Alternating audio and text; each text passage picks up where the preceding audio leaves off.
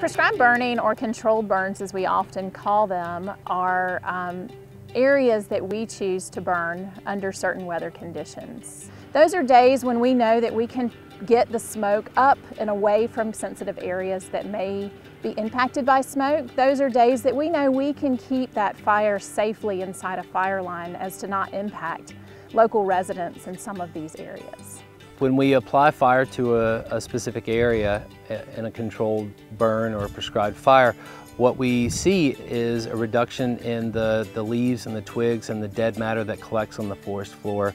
Um, we've reduced what we call fuel on the ground. By doing that, uh, we also provide an opportunity for various flowers and grasses and things to emerge from the ground because we've uncovered them and their seed source. We've also provided sunlight for, uh, through the forest floor to hit the ground and warm the ground and allow for those seeds to grow. The Southern Blue Ridge Trax is in this area for many reasons, but one important reason is for our Table Mountain pitch pine communities. Table Mountain pine requires fire to open the cone, and inside that cone is a seed. And that fire opens the cone and the seed can drop to the forest floor.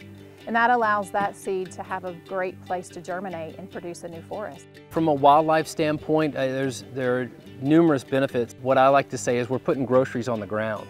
You know, wildlife benefit from a number of, of things in terms of insects, uh, soft mast, hard mast, um, nesting habitat, breeding habitat, those types of things. And we've also made it safer for first responders or firefighters that may come out and may be responding to a wildfire event making it safer in terms of making a potential wildfire in the future easier to control, easier to contain, and taking the intensity of a potential wildfire down to something that's a lot more manageable.